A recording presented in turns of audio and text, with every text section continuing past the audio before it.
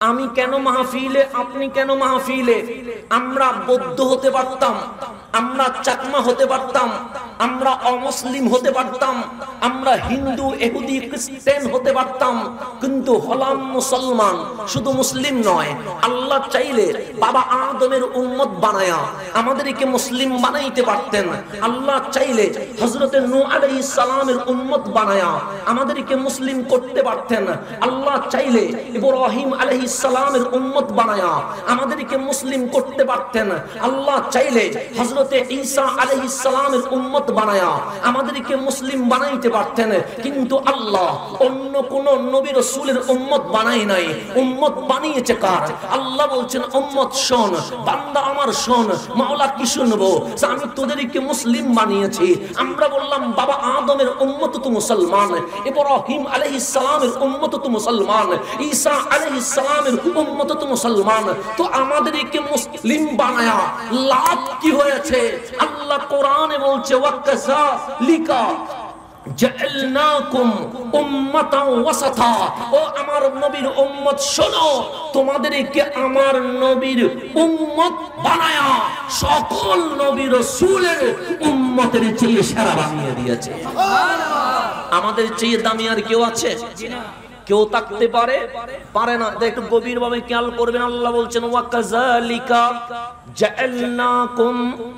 উম্মাতাও ওয়াসাতা ও আমার হাবিবের উম্মত শোনো ওয়াকাযালিকা আর এমনি করে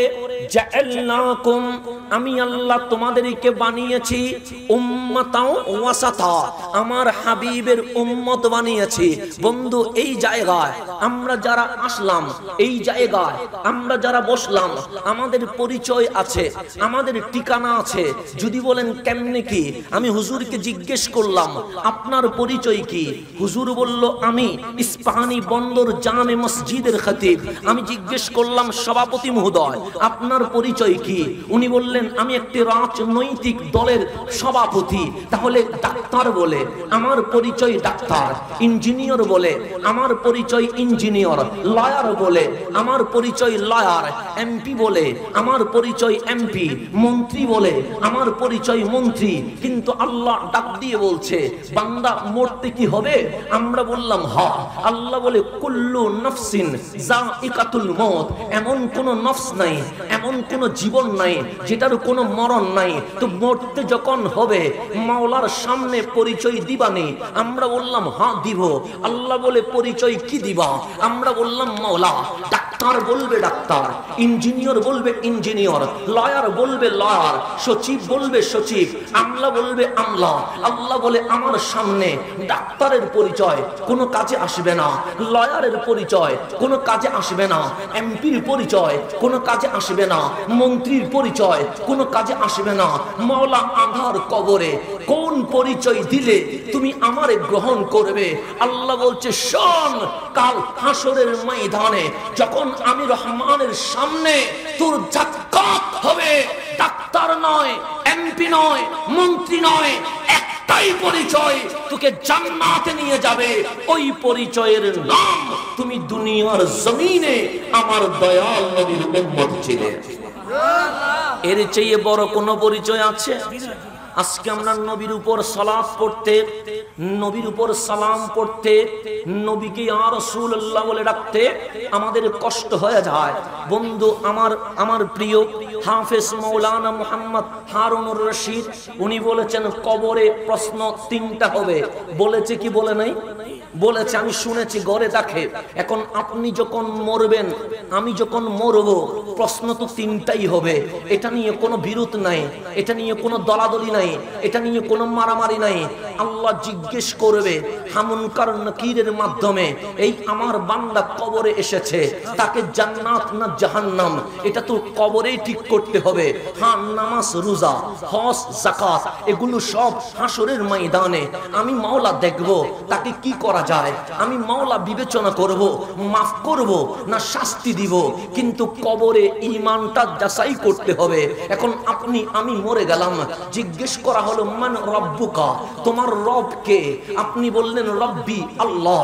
তার মানে আপনি কোন হিন্দু নয়, বৌদ্ধ নয়, চাকমা নয়। আপনি রহমানকে আল্লাহ মেনেছেন। এখন মুনকার নকির বলবে, মাওলা তোমার বান্দা তোমাকে চিনেছে।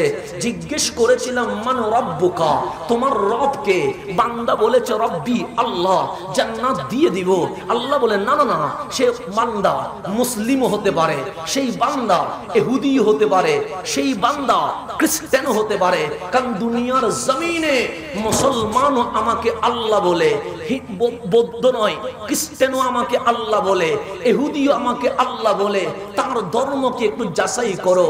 তখন জিজ্ঞেস করা হবে, মা দিনুকা, তোমার ধর্মের নাম কি? আপনি বললেন দিনই আল ইসলাম, আমার ধর্মের নাম ইসলাম। মুনকার নকির বড় খুশি হয়ে যাবে। ও রহমান, বান্দা এসেছে, যিনি তোমাকেই রব মানে। কিন্তু ধর্ম অন্য কিছুর নয়। ইন্না দিনা ইন্দাল্লাহিল ইসলাম। ইসলাম ধর্মকেই সেই ধর্ম হিসেবে মেনে নিয়েছে। মাওলা জান্নাত দিবনি। আল্লাহ বলে হ্যাঁ সে মুসলিম, সে রবকে রব মেনেছে, দিনকে ইসলাম মেনেছে, একটু জিজ্ঞেস করো না, আমার নবীটারে চিনে কিনা?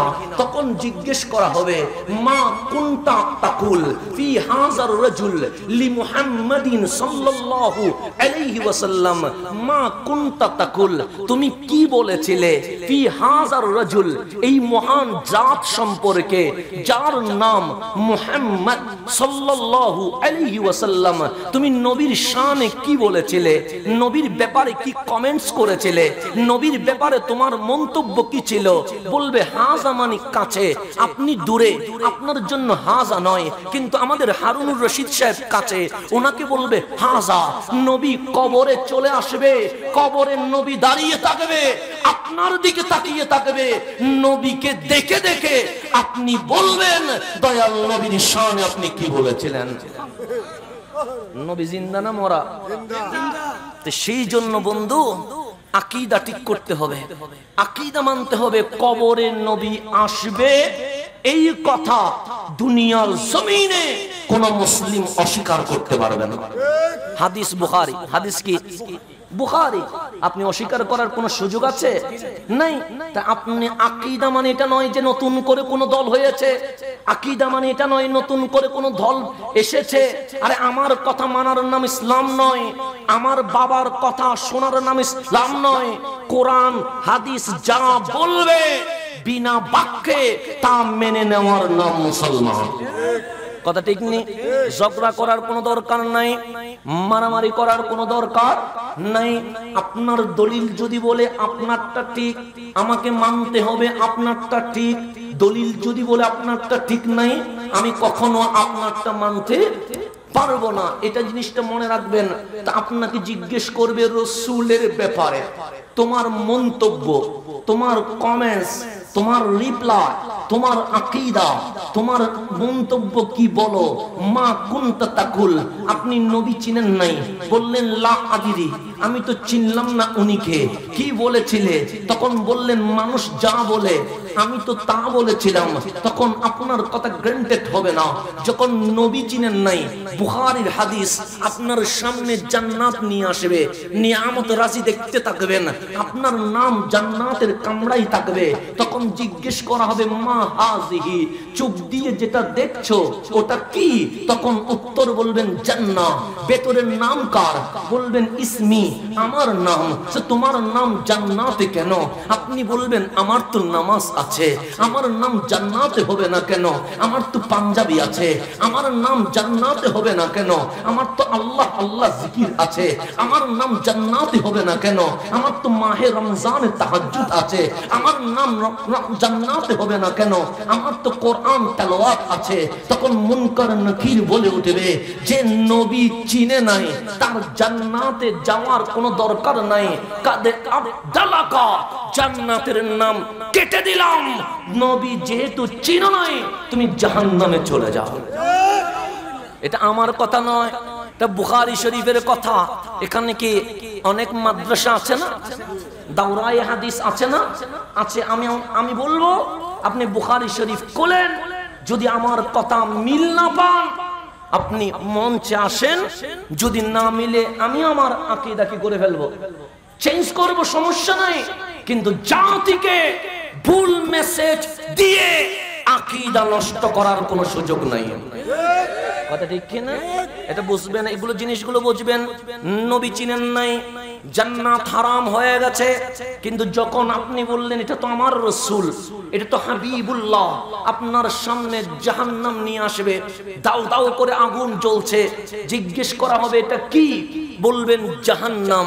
নাম কার? বলবেন আমার, মুনকার নাকির বলবেন, নাম কেন জাহান নামে আপনি চোখের পানি ছেড়ে দিয়ে বলবেন, নামাজ তো পড়েছিলাম, রহমান রাজি হয় নাই, রোজা তো রেখেছিলাম, রহমান কবুল করে নাই, কোরআন তো পড়েছিলাম আটশো পর্যন্ত খবর করে নাই, যখন আমল কবুল হয় নাই বলে আমার নাম জাহান নামে তখন মুনকার নাকির হাসি দিয়ে বলবে হ্যাঁ তুমি নবী চিনেছ? আরে নবী চিনে জাহান নামে যাবে। হতে পারে না, কাদে আব্দালাকা জাহান্নামের নাম কেটে দিলাম, তোমাকে জান্নাতি বানিয়ে দিলাম। এর চেয়ে বড় নিয়ামত আর আসেনি। আর কখনো হতে পারে? তাহলে বন্ধু, আমার গভীর মনোযোগ। নবী চিনছেন তো জান্নাতি হবেন। নবী চিনেন নাই আপনার আমল। আপনাকে কখনো জান্নাতে নিতে পারে না। সেই জন্য আমরা আহলে সুন্নাত ওয়াল জামাত। আমরা বলি, নামাজ লাগবে, নামাজ বাদ দেওয়া যাবে না। রোজা লাগবে, রোজা ছেড়ে দেওয়া যাবে না। হজ লাগবে, হজ করতেই হবে। জাকাত দেওয়া লাগবে জাকাত কখনো বাদ দেওয়া যাবে না। কিন্তু এই সমস্ত আমল কবুল করার জন্য সর্বপ্রথম আপনার বুকে দয়াল নবীর মোহাব্বত লাগবে। এটা ছাড়া ইমান হবে? এখন একটু আমার কথা কি বুঝতেছেন? আমি সাউন্ড বক্সের সমস্যার কারণে আমি যেভাবে মাহফিল করি, আমি সেইভাবে করতে পারছি না বলে দুঃখিত, কিন্তু মাইকে যতটুকু শুনছেন, আমার কথা কি আপনার বুঝতে কোনো সমস্যা হচ্ছে? এইভাবে আলোচনা করলে কোনো ঝামেলা হবে? তাহলে একটু আজকে বুঝেন কি নিয়ে গেলাম হিসাব করবেন। তাহলে রসুল চিনছেন তো জাহান্নামি কি হয়? জান্নাতি হয়। রসুল চিনেন নাই তো জান্নাতি কি হয়ে যায়? হয়ে যায়। তো খেয়াল করবেন, আপনি, আমি কোন মুসলমান? আপনি, আমি কোন ধরনের ইমান রাখি? একটু গভীর ভাবে খেয়াল করবেন, রসুল না চিনলে কি হয়? যেমন নামাজ লাগবে। আমরা কিছুক্ষণ আগে যেই নামাজ পড়েছি এটার নাম এশারের নামাজ। কথা ঠিক নেই ইমামের পিছনে চার রাকাত নামাজ পড়েছি। এটা ফরজ, অবশ্যই পড়া লাগবে। কথা ঠিক? এরপর আমরা পড়লাম দুই রাকা এটা সুন্না এরপর আমরা পড়লাম বিতির তিন রাকা এটা ওয়াজিব। এরপর আমরা পড়লাম আরও দুই রাকা এটা নফল।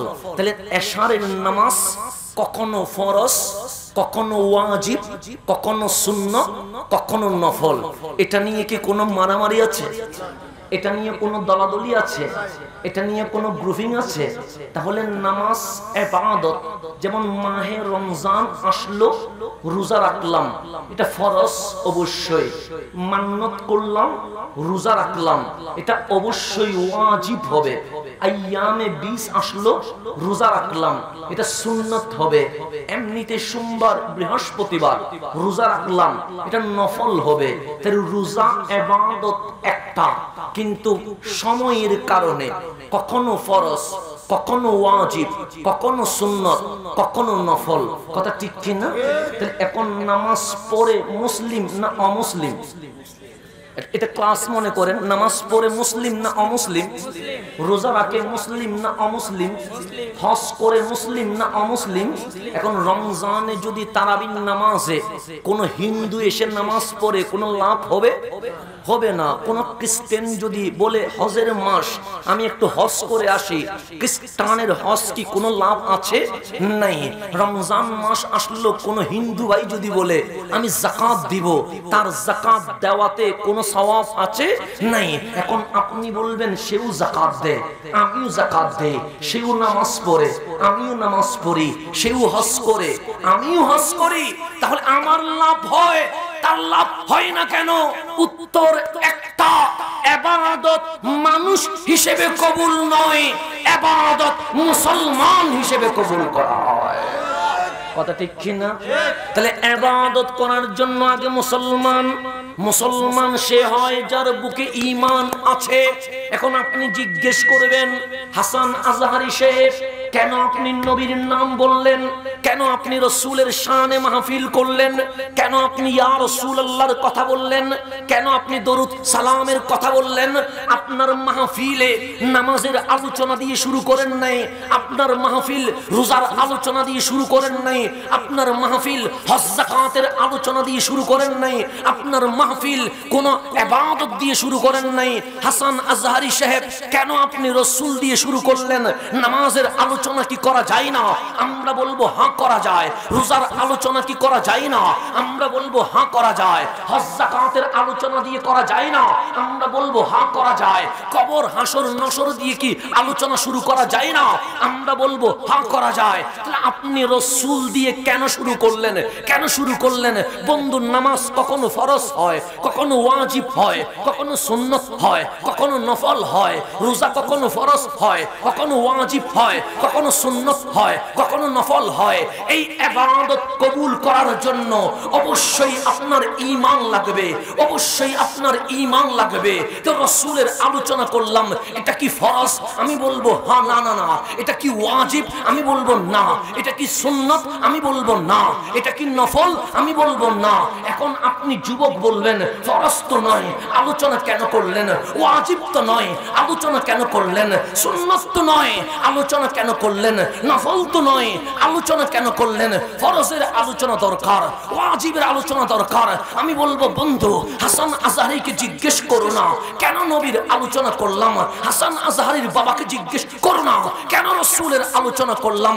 তুমি ইমাম বুখারিকে জিজ্ঞেস করো, যাকে তুমি মানো। তুমি ইমাম বুখারিকে জিজ্ঞেস করো, নবীর মোহাব্বত কি? ইমাম বুখারি বলে, নামাজ ফরজ হয়, রোজা, হজ জাকাত এগুলো কখনো কখনো ওয়াজিব হয় কিন্তু নবীর আলোচনা কি? ইমাম বুখারি বলছে, হুব্বুর রাসূলে মিনাল ঈমান মিনাল ঈমান। নবীর ভালোবাসা হজ যদি কবুল করাইতে চাও, রোজা যদি কবুল করাইতে চাও, নামাজ যদি কবুল করাইতে চাও, ফরজ, ওয়াজিব, সুন্নাত যদি কবুল করাইতে চাও, নবীর ভালোবাসা লাগবে, নবীর ভালোবাসা লাগবে। হুব্বুর রাসূলে মিনাল ঈমান, নবীর ভালোবাসা ডাইরেক্ট ঈমান হয়ে গেছে।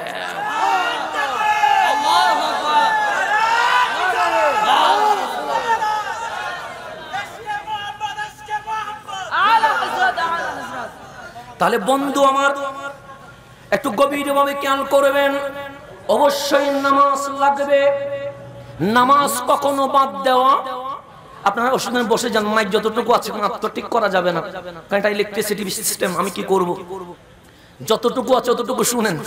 নাই মামার চেয়ে কানা মামা ভালো, অন্তত নাইয়ের চেয়ে তো আছে। অতটুকুই ধৈর্য ধরি। অসুবিধা নেই ইনশাল্লাহ যতটুকু আছে ততটুকু চালাই আদি অবশ্যই সাড়ে দশটা বেজে গেছে, আধা ঘণ্টা হয়ে গেছে। যদিও একটা জোর গলার উপর প্রচুর প্রেশার ক্রিয়েট করতে হচ্ছে, কারণ এটা খুব সমস্যা করছে। তাহলে এখন আসেন, গভীরভাবে খেয়াল করবেন। তাহলে নবীর ভালোবাসা লাগবে কি লাগবে না? লাগবে। এখন একটু গভীরভাবে কেমন করবেন? আল্লাহ বলছে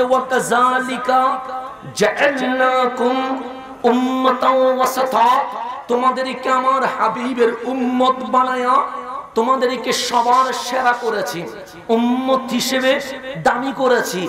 এখন জিজ্ঞেস করবেন, হুজুর, দামি হইলাম কেমনে? আমরা সেরা হইলাম কেমনে?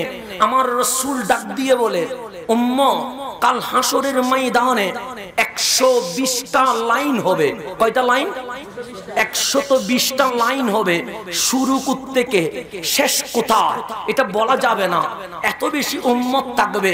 এই একশত বিশটা লাইনের মাঝে বাবা আদম থেকে শুরু করে কেয়ামত পর্যন্ত সকল নবী রসুলের উম্মত দাঁড়াবে। আমার নবী বলেন, একশত বিশ লাইনের মধ্যে আশিটা লাইন আমি নবীর উম্মত থাকবে কয়টা লাইন? একশো বিশের মধ্যে আশি লাইন আমাদের দখলে আর চল্লিশ লাইন এক লক্ষ মতান্তরে দুই লক্ষ চব্বিশ হাজার নবীর রসুলের উম্মত থাকবে। কারও তিনজন, কারও একজন, কারও দশ জন কারও চল্লিশ জন কারও একশত বিশ জন এরকম উম্মত নিয়ে আসবে, পুরা হাসরের ময়দানে তিন বাগের দুই বাগ আমার আল্লাহ বলে, ইন্না তৈনা কাল হাবিব হাসরের ময়দানে রাজত্ব একমাত্র আপনি নবীর চলতে থাকবে। উম্মতের দিকে বেশি খারাপ। আমরা আশি লাইন আমাদের দখলে থাকবে। আল্লাহর নবী বলেন, উম্মত, আমি কেমন নবী জাননি? আমরা বললাম নবীর এই কেমন? হাসরের ময়দান যখন কায়েম হয়ে যাবে, সকল নবী রসুল যখন উঠে যাবে, ইজা জুলজিলাতিল আরদু জিলজালাহা, জমিন যখন কম্পন করতে লাগবে আসমান যখন টুকরো টুকরো হয়ে ভেঙ্গে পড়বে, সূর্য যখন নিচে নেমে আসবে, আল্লাহ বলে ও আখরাজাতিল আরদু আফকালাহা এই যে কবরের ভেতরে মানুষগুলো রাখলেন, আল্লাহ বলে, এটা কবরের জন্য বোঝা হয়ে গেছে। এই কবরবাসীকে সেই দিন জমিন আর মাটির নিচে রাখবে না, তুলে মাওলার সামনে দাঁড় করাইয়া দিবে। আমরা থাকব কার সামনে? আল্লাহর সামনে আল্লাহর রসুল বলেন, সেদিন সূর্য নিচে, মাটি আর মাটি নাই। মাটি হয়ে যাবে তামা, উপরেও গরম, নিচেও গরম। কারণ জমিন আল্লাহ আমার জন্য দিয়েছে। জমিন আল্লাহ আপনার জন্য দিয়েছে। কেন? যখন গরম বেশি বেড়ে যায়, আল্লাহ এটাকে চাইলে তামা বানাইতে পারতেন। আল্লাহ চাইলে স্বর্ণ দিয়ে মুড়িয়ে দিতে পারতেন। কিন্তু জমিনকে রাখলেন মাটি। জিজ্ঞেস করেন, মৌলা, তুমি জমিন মাটি দিয়ে বানালে কেন? আল্লাহ বলে, গরম যখন বেড়ে যায়, বান্দা আমার বড় কষ্ট পায়। তখন আমি আল্লাহ জমিনকে বলি, জমিন, তোমার একটা ক্ষমতা আছে, গরম বেড়ে গেছে, বান্দা কষ্ট পাচ্ছে, তুমি গরমকে চুষে নিয়ে নাও, যাতে আমার বান্দার কষ্ট না হয় আর একটা বৃষ্টি যখন পড়বে, পানি যদি উঠে যায়, এক সপ্তাহ, এক মাস যদি বন্যা হয়, মানুষের কষ্ট হবে। জমিন পানিগুলো তুমি চুষে নাও। এই জমিনকে আল্লাহ হুকুম দিয়েছে, আমার বান্দার খেদমত করা। তুমি জমিনের দায়িত্ব। এখন আমার কবরে যখন আমরা হাসরের ময়দান চলবে, আল্লাহ বলবে, আর খেদমতের দরকার নাই, থামা হয়ে যা তো উপরে সূর্যের গরম নিচে তামার গরম, সূর্যের গরমে আপনার মাথার মগজ সিদ্ধ হবে। তামার গরমে আপনার পা জ্বলতে থাকবে। এই কঠিন মুহূর্তে আল্লাহর কাহারিয়তের ডাক চলবে এমন ডাক আল করিয়াতু মাল কারিয়া এমন ভয়ঙ্কর ডাক। শুধু আপনি নয়, আমি নয়, মুসা কালিমুল্লাহর মত নবী পর্যন্ত তত্থর করে কেঁপে উঠবে। হযরত ইব্রাহিম আলাইহিস সালামের মত নবী তত্থর করে কেঁপে উঠবে। মুসা কালিমুল্লাহ যখন ভয়ঙ্কর ওই ভয়ানক শব্দ শুনবে, তখন আরশের কুটিকে জড়িয়ে ধরে কান্না করে বলবে, মাওলা, আজ বনি ইসরাইলের কথা বলব না, আজ ভাই হারুনের কথা বলব না। এমন ডাক এমন ভয়ঙ্কর, আমি মুসা নিজেই ভয় পেয়ে গেছি। আল্লাহর রসুল বলবেন, চতুর্দিকে সকল নবী রসুল যখন নফসি নফসি রাখছে, তখন অটোমেটিক উন্মত বলবেন নফসি আপনিও বলবেন নফসি, আপনার ডানে বাবাও বলবে নফসি, আপনার বামে মাও বলবে নফসি, আপনার সামনে বন্ধুও বলবে নফসি, আপনার পিছনে স্ত্রীও বলবে নফসি, আপনার সন্তান দূরে তার কি তাকিয়ে তাকিয়ে বলবে, নফসি পুরা নফসি নফসি, মাঠ যখন উত্তপ্ত হয়ে যাবে, তখন আমার রসুল বলেন মান আমি সেই ব্যক্তি যেই সর্বপ্রথম মাওলার কুদরতি কদমে সিস্তাই লুটিয়ে পড়ব। সর্বপ্রথম সিজদা দিবেন রহমতুল্লিল। আল্লাহর নবী সিজদায় লুটিয়ে যাবে মসনদে আহমদের মধ্যে আছে, বুখারীর কিতাব ও হাদিসুস শাফার মধ্যে আছে। বন্ধু, আমার রসুল সিজদায় লুটিয়ে পড়বে। চোখের পানি জব জব করে পড়বে। আমার আল্লাহ ডাক দিবে হাবিব। আপনি দুনিয়ার জমিনে অনেক সিজদা দিয়েছেন। এমন কোন মুহূর্ত নাই, আপনি রসুল সিজদা দেন নাই। আমরা নামাজ পড়ি পাঁচ ওয়াক্ত, ফজর, জুহর, আসর, মাগরিব, এশা, নামাজ শেষ। পাঁচ ওয়াক্ত নামাজের তো খবরই থাকে না। কিন্তু আল্লাহ বলেন, হাবিব, ফাতাহাজ্জাত বিহি নাফিলাতান লাক। আপনি পাঁচ ওয়াক্ত নামাজ নয়, আপনি তো উম্মতের গুনাহ মাফ করার জন্য ছয় ওয়াক্ত নামাজ পড়েছেন।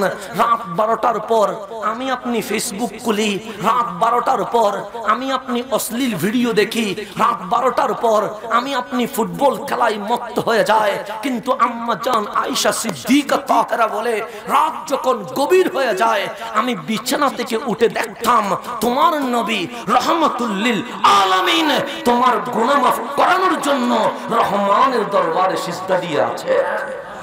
আমার নবী সিজদা দেয় নাই, এমন কোন মোমেন্ট নাই। আল্লাহ বলবে, হাবিব, এটা হাসরের ময়দান, কিয়ামতের দিন।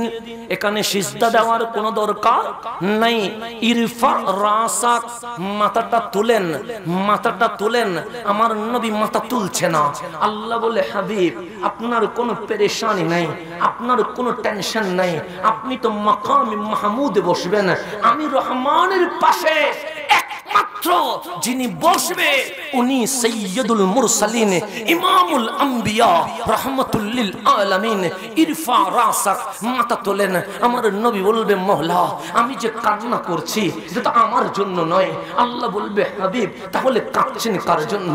সাহাবাই কারামের জন্য? কাঁদবেন না, তাদের জন্য জান্নাতুল ফেরদৌস রেডি করেছি। রাদিয়াল্লাহু আনহুম ওয়ারাদু আনহু। আমি মাওলা তাদের উপর রাজি হয়ে গেছি।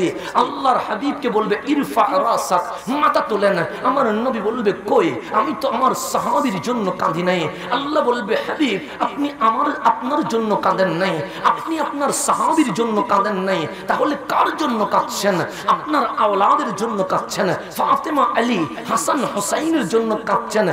পাকের জাফর সাদিক, ওনাদের জন্য কাঁদছেন। মাহাদির জন্য কাঁদছেন। আল্লাহর রসুল বলবেন না না, ওদের জন্য কাঁদবো কেন? কারণ তোমার কোরআন বলেছে ওয়ায়ুতা হেরাকুম তাতহীরা তাদের কোনো দোষ নাই, তাদের কোনো গুনাহ নাই, পবিত্র রাখার দায়িত্ব তুমি মাওলা তো নিয়ে নিয়েছো। আল্লাহ বলবে, হাবিব আপনি ঠিক বলেছেন, ওদের জন্য আমি মিম্বার রেডি করেছি। আল্লাহর হাবিব বলবেন, ইরফা রাসাক, মাথা তোলেন, কারণ আপনার কোনো টেনশন নাই, আপনার সাহাবীর কোনো পেরেশানি নাই, আপনার আওলাদের কোনো সমস্যা নাই। আপনি এখন মাথা তুলেন, আমার রসুল মাথা তুলছে না। আল্লাহ বলবে, হাবিব, নিজের জন্য কাঁদলেন না, নিজের স্ত্রীর জন্য কাঁদলেন না। নিজের সাহাবীর জন্য কাঁদলেন না। নিজের আওলাদের জন্য কাঁদলেন না। তাহলে কাঁদছেন কেন? তখন আপনার নবীর দুটো টোট বলতে থাকবে, উম্মতি উম্মতি উম্মতি, মাওলা, আমি আমার জন্য কাঁদে নাই, আমার সাহাবীর জন্য কাঁদে নাই, কিন্তু আমার গুনাহগার উম্মত রৌদ্রের মধ্যে সূর্যের নিচে দাঁড়িয়ে চিৎকার করছে, উম্মতের কান্না আমি নবী সহ্য করতে পারি না। আল্লাহর নবী সিজদায় লুটিয়ে যাবেন। আল্লাহ বলবেন, ওয়ালা সৌফা ইউতিকা রাব্বুকা ফাতারদা। হাবিব এমন ভাবে ক্ষমা করব। এমন ভাবে মাফ করব, আপনি নবীকে আমি খুশি করে ফেলব। আল্লাহর নবী বলবেন, আমি সিজদা থেকে উঠে যাব। সিজদাই যখন উঠবো, তখন ডানে আমার উম্মত, বামে আমার উম্মত, পিছনে আমার উম্মত। দেখব উম্মত কাঁপছে আর কাঁপছে। শুধু বলছেন, নফসি নফসি নফসি, উদ্ধার পাবো কোন জায়গায়? আমার রসুল বলেন, আমি প্রথম ব্যক্তি যিনি জান্নাতের দরজায় গিয়ে করে আওয়াজ করব। রসুলে পাক জান্নাতের দরজায় গেলেন, গিয়ে টাক টাক করে আওয়াজ করলেন, ভেতর থেকে আওয়াজ আসবে, মান আনতা? আপনি কে? যে জান্নাতের দরজায় আওয়াজ করছেন, যে জান্নাতের দরজায় নক করছেন, আল্লাহর নবী বলবে, আনা হাবিবুল্লাহ রাহমাতুল্লিল আলামিন। আমি আল্লাহর হাবিব। দয়াল নবী রহমতুল্লিল আলামিন। এতটুকু বলতে দেরি। ফাতফাতাহাল বাব, জান্নাতের দরজা খুলে যাবে। আল্লাহ ডাক দিয়ে বলবে, হাবিব, আপনি জান্নাতের ভেতরে আসেন, কারণ আমি মাওলা। আপনাকে স্বাগতম জানানোর জন্য ইন্তজারে রয়েছে। আমার নবী সর্বপ্রথম জান্নাতে ঢুকে যাবে। জান্নাতে যখন প্রবেশ করবে, আল্লাহ ডাক দিয়ে বলবে, জিব্রাইল, আখেরি পায়গাম্বার ইমামুল মুরসালিন জান্নাতে চলে এসেছে। আমার আদম এখনও বাহিরে, আমার নু এখনও বাহিরে, আমার মোসা এখনও বাহিরে। যাও, সকল নবী রসুলকে জান্নাত নিয়ে আসো। জিবরিল আমিন গিয়ে বাবা আদম থেকে ঈসা সালাম সকল নবী রসুলকে জান্নাতে প্রবেশ করাবে। নবী রসুল জান্নাতে আর একশত বিশ লাইনে আমরা সবাই মাঠে দাঁড়ানো, যখন নবী রসুল জান্নাতে ঢুকবে অটোমেটিক জান্নাতের দরজা বন্ধ হয়ে যাবে। নবী রসুল জান্নাতে, উম্মত জান্নাতের বাহিরে আমার রসুল ডানে থাকায়া দেখবে, আদম সফিউল্লাহ দাঁড়িয়ে আছে, আমার নবী সামনে তাকায়া দেখবে, মোসা কলিমুল্লাহ দাঁড়িয়ে আছে, রসুল বামে তাকায়া দেখবে হজরতের নূ রসুল্লাহ দাঁড়িয়ে আছে। এরকম সকল নবী রসুল জান্নাতে ঢুকেছে, কিন্তু দেখবে ডানে উম্মত নাই, বামে উম্মত নাই। পিছনে উম্মত নাই, জান্নাতের ভেতরে আপনার নবী কান্নাকাটি শুরু করবে। আল্লাহ বলবে, হাবিব, আপনি তো সেফ জুনে চলে এসেছেন, জান্নাতের ভেতরে চলে এসেছেন, এখন কেন কাঁদছেন? আমার নবী বলবে মাওলা আমি জান্নাতের ভেতরে, উম্মত জান্নাতের বাহিরে, আমি আলিশান মর্যাদায়, আর উম্মত সূর্যের সেই আলোতে গরমে তত্তর করে কাঁপছে। আমার জান্নাতের দরকার নাই, উম্মতকে জান্নাতে বাহিরে রেখে আল্লাহ বলবে, চান কি? উম্মত যদি জান্নাতে চলে আসে, আমার কান্না বন্ধ হয়ে যাবে। আল্লাহ বলবে, জিবরিল, যাও না। আজ আমার হাবিব কাচ্ছে হাবিবের কান্না আমি সইতে পারি না। আমার নবীর উম্মতকে জান্নাতে নিয়ে আসো। আমার রসুল বলছে, উম্মত, তুমি কে? এসেছ সবার শেষে। জান্নাতে যাবে সবার আগে। আমাদের চেয়ে দামি আর কেউ আছে? এসেছি সবার শেষে। বাবা আদমের উম্মত কি নামাজ পড়ে নাই? পড়ছেনি ইব্রাহিম আল ইসলামের উম্মত কি হজ করে নাই? মোসা আল ইসলামের উম্মত কি জিহাদ করে নাই? আপনি যখন রোজা রাখলেন, কষ্ট পাচ্ছেন, সকাল থেকে মাগরিব পর্যন্ত না খেয়ে থাকব? আল্লাহ বলে, কুতিবা আলাইকুম সিয়াম। আমরা বললাম, মাওলা, কষ্ট হয়ে যাবে। আল্লাহ বলে তামা কুতিবা আলাল্লাযিনা মিন ক্বাবলিকুম। আরে, এই রোজা তো তোদের উপর দেই নয়। সকল নবী রসুলের উম্মত রোজা পালন করেছে তো বান্দা? তুমিও রোজা পালন করো। সকল নবী রসুলের উম্মত নামাজ পড়েছে, তুমিও নামাজ পড়ো। সকল নবী রসুলের উম্মত জাকাত দিয়েছে, তুমিও দাও। এবাদত ওরাও করেছে, আমরাও করেছি। জিহাদ ওরাও করেছে, আমরাও করেছি। কিন্তু জান্নাত দেওয়ার বেলায় ওনারা আগে নয়, আমরা আগে। কেন? তোমার নিসবত, তোমার সম্পর্ক, তোমার কানেকশন রহমতুল্লিল আলামিনের সাথে হয়ে গেছে। নবীর সাথে সম্পর্ক হওয়াতে দামি না অদামি? লাভ না কথি এখন আসেন মূল আলোচনায়, যেটাতে আমি যাচ্ছি, আমার আপনার পরিচয় দয়াল নবীর উম্মত। এতে কোনো সন্দেহ আছে? এখন যেহেতু কবরবাসীর ইসালে সওয়া একটু বুঝবেন। বুশ, বুশকে তো সবাই চিনেন। চিনেন না এরকম কেউ আসেননি। বুশ ভালো মানুষ নেই। ভালো না? বুশ আজকে না হলে কালকে মরবি তো নাকি? মরবে না এরকম কেউ আছে? তাসলিমা নাসরিন কেউ মরতে হবে নাস্তিক কেউ মরতে হবে, মরবে না এরকম কেউ আছে? এখন বুশ মারা গেল। এখানে রিক্সা চালায় কে আছে দেখি? হাত তুলেন তো। রিক্সা চালায়। আসেন হ্যাঁ আমার ভাই রিক্সা চালায়। উনি আজকে না হলে কালকে উনিও মারা যাবে। ওনাকেও আল্লাহর সামনে দাঁড়াইতে হবে কি হবে না? হবে। এখন আল্লাহ বুশকে জিজ্ঞেস করবে বুশ তোমার আইডেন্টিটি তোমার পরিচয় কি? বুশ বলবে মোলা আমি আমেরিকার দুদুবার নির্বাচিত প্রেসিডেন্ট। আমার গাড়ি আছে, আমার বাড়ি আছে, আমার ক্ষমতা আছে, আমার অস্ত্র আছে, আমার এমন পাওয়ার ইরাক, আফগানিস্তান মুহূর্তে শেষ করে দিয়েছি। আমি কথা বলেছি আমেরিকায়, বাংলার জমিন কেঁপে উঠেছে। কথা ঠিক নেই? তাহলে বুশের টাকা আসে না নাই? ক্ষমতা গাড়ি বাড়ি অস্ত্র, সেনাবাহিনী, সব আছে। কিন্তু ইমান নাই। আমার রিক্সাওয়ালা ভাই, উনিও মারা গেলেন। আল্লাহ জিজ্ঞেস করবে, কে তুমি? উনি বলবে, মৌলা, আমি রাষ্ট্রপতি নয়। তুমি কে? উনি বলবে, আমি মন্ত্রী নয়। তুমি কে? আমি এমপি নয়। তুমি কে? আমি ডাক্তার, সচিব, ইঞ্জিনিয়ার নয়। আল্লাহ বলবে, ছিলি কে? সেটা বল না। উনি বলবে, মৌলা এক ঠিকানাহীন রিক্সাওয়ালা। শুধু একটা পরিচয়, আমি দুনিয়ার জমিনে তোমার হাবিবের উম্মত ছিলাম। তাহলে আমার গায়ের কোনো পরিচয় নাই। না উনি ডাক্তার, না উনি ইঞ্জিনিয়র, না উনি লয়ার, না উনি সচিব, উনি পরিচয়হীন এক রিক্সাওয়ালা, সম্পর্ক নবীর সাথে, বুশের সব আছে। আপনিও চিনেন, বাংলাদেশও চিনে, ইরাকও চিনে, আফগানিস্তানের মানুষও চিনে, বিশ্বের ওয়ার্ল্ডের সবাই চিনে, কিন্তু বুকে নবী নাই। আল্লাহ বলবে বুশ তোর ক্ষমতা তো আছে, তোর টাকা তো আছে গাড়ি বাড়ি তো আছে কেফানস্ত্র তো আছে, র্যাব, পুলিশ, সেনাবাহিনী তো আছে আছে সব, শুধু নবী নাই।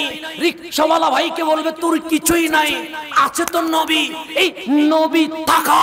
কোটি বুশের চেয়েও আমি মৌলার কাছে তোমাকে দামি করে দিয়েছে। কথা ঠিক নেই? তাহলে নবী লাগবে কি লাগবে না? নবী বাদ দিয়ে কোনো ইমান হতে পারে? আমরা দয়াল নবীর উম্মত হয়ে লাভ না ক্ষতি? নবীর সাথে আমাদের সম্পর্ক হওয়াতে আমরা খুশি না নারাজ? এই রসুল পেয়ে খুশি হওয়াকে আহেলে সুন্নাত ওয়াল জামাত বলে সামনের দিকে যা। আমার রসুল বললেন, উম্মত, শোনো, দুনিয়ার জমিনে অনেক নবী রসুল এসেছে। মা মিনাল আম্বিয়া নবিয়ুন ইল্লা উতিয়া মিনাল আয়াতি মা মিসলুহু আও বাশার। আমার রসুল বলেন, উম্মত, শোনো, পৃথিবীর জমিনে অগণিত নবী রাসূল এসেছে। তাদেরকে মাওলা কিছু নিয়ামত, মজেজা দিয়েছে। কতটুকু দিয়েছে? ওই পরিমাণ দিয়েছে, যেই পরিমাণ মজেজা থাকলে মানুষ আল্লাহর উপর ইমান আনবে এবং আল্লাহর পাঠানো নবী সুলের উপর ঈমান আনবে। যেমন মুসা আলাই ইসলামের লাঠি মজেজা ছিল হজরতে ঈসা আলাই ইসলামের হাত মজেজা ছিল। কিন্তু আমার রসুল বললেন, আমি কে জানো? কান কান ওয়াহিয়ান আওহাহুল্লাহু ইলাইহা, ইলাইয়া ফারজু আন আকুনা আকসারহুম তাবিয়ান ইয়াউমাল কিয়ামা। কিন্তু আমি নবী তো সেই রসুল, আমাকে আমার মাওলা এমন মুজিজা দিয়েছে যেই মজেজার কারণে কেয়ামত পর্যন্ত নবী দেখে নাই, কিন্তু নবীর কথা শুনে মানুষ মুসলিম হতে থাকবে সেই জন্য আমার রসুলের আফাদ মস্তক মোজেজা। রসুল কেমন মোজেজা? কোন নবীর লাঠি মোজেজা, কোন নবীর পাগড়ি মোজেজা, কোন নবীর জুব্বা মোজেজা, কোন নবীর আংটি মোজেজা, কোন নবীর হাত মোজেজা। কিন্তু আমার নবী কেমন নবী? শায়ের বলছেন কে দিয়া? তো হো গিয়া। তোমার নবী কেমন মোজেজা নিয়ে এসেছে জানো? টোট দিয়ে বলতে দেরি, হতে দেরি করে নাই। আমার রসুল বলেছেন, চাঁদ দুটুকরো হয়ে যা, চাঁদ দুটুকরো হয়ে গেছে। আমার রসুল বলেছেন, সূর্য উঠে যা, সূর্য উঠে গেছে। আমার রসুল বললেন, কাদাম, রহমানের দরবারে চল মেরাস হয়ে গেছে। রসুল তো এমন, যিনি আঙ্গুল বিছিয়েছেন। সাহাবি বলছে, পানি নাই পানি নাই। কিন্তু পানি দেওয়ার জন্য ওয়াশার লাইন তো লাগবে। পানি দেওয়ার জন্য মেশিন তো ফিট করতেই হবে। পানি দেওয়ার জন্য কল মেশিন তো লাগবে, কিন্তু আপনার নবী কেমন নবী? সাহাবি বলছে, পানি নাই। রসুলে পাক আঙ্গুল মোবারক বিছিয়ে দিলেন, ঝর্ণার মতো করে পানি বের হতে লাগল। আপনার নবী কেমন নবী? আপনার রসুল কেমন রসুল? দেখেছেন তো মজাজা হয়ে গেছে, চেয়েছেন তো মজাজা হয়ে গেছে। আরে নবীর আফাদ মস্তক মজাজা, শুধু তাই নয় তাই নয়, নবী যেটা ধরেছে, সেটাই মজাজা হয়ে গেছে। আপনার নবী কেমন মজাজা একটু শোনেন হজরতে সাইফুল্লাহ যাকে বলা হয়, আসাদুল্লাহিল গালিব হজরতে খালেদ বিন ওয়ালিদ রাদিয়াল্লাহু তাআলা আন নাম শুনেন নাই এরকম কেউ আছেন? আমরা মসজিদের মিম্বারে যখন দেখি ফিলিস্তিনের মুসলমান রক্তে লাল হয়ে গেছে, যখন দেখি মসজিদে আকসা এহুদিদের বুমের কারণে দাও দাও করে আওয়াজ আসছে, তখন রহমানের দরবারে হাত তুলে বলি, মাওলা, আমাদের খালেদ বিন ওয়ালিদ নাই বলে আজ এহুদিরা আমাদেরকে মারে। আমাদের খালেদ বিন ওয়ালিদ নাই বলে মায়ানমারের মুসলমান মার খায়। আমাদের খালেদ বিন ওয়ালিদ নাই বলে আসামের মুসলমান কোরবানি করতে পারে না। আমাদের খালেদ বিন ওয়ালিদ নাই বলে ইরাকের মুসলমান কান্নাকাটি করছে।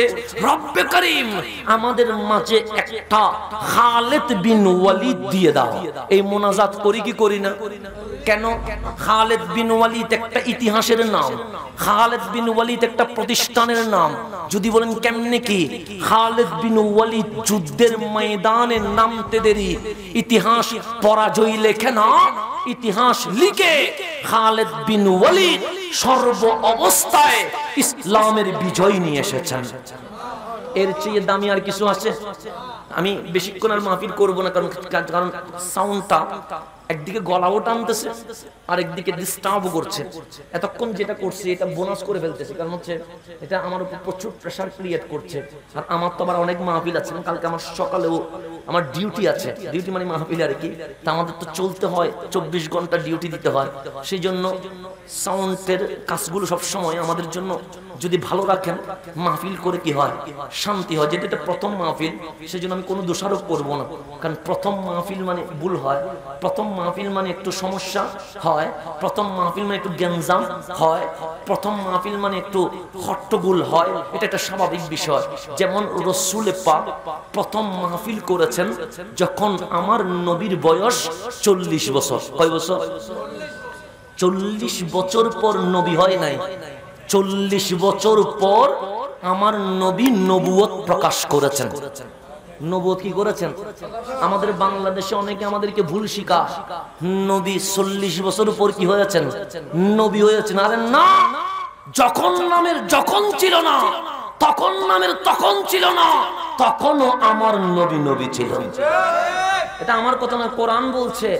আমি বলি নাই, কোরআন বলছে, কোরআন কি বলছে? আমি যখন আলমে আরোয়া কোথায়? এটা ওয়ার্ল্ড, এটা হচ্ছে জমিনি ওয়ার্ল্ড। গ্রহ উপগ্রহ আছে না? গ্লাক্সি আছে না নাই? আছে। তো আমাদের যে কোন বোর্ডই নাই, আমাদের একটা গ্লাক্সি আছে। ওই গ্লাক্সির নাম আলমে আরোয়া আল্লাহ বলছে, ওই আলমে আরোয়াতে আমি একটা মিটিং করলাম। কিসের মিটিং সে আমি নবী রসুল যাদেরকে বানাবো তাদেরকে আলাদা করে সকল নবী রসুলকে নিয়ে আমি মাওলা কি করলাম? বসলাম। আল্লাহ সেটা কোরআনে বলছেন, ওয়া ইজ আখাযাল্লাহু মিসাকান নবিয়িন আমি নবীদের সাথে মিসাক নিলাম, ওয়াদা নিলাম। কি ওয়াদা? আমি তোমাদেরকে নবী বানাবো, তোমাদেরকে কিতাব দিব, হিকমত দিব।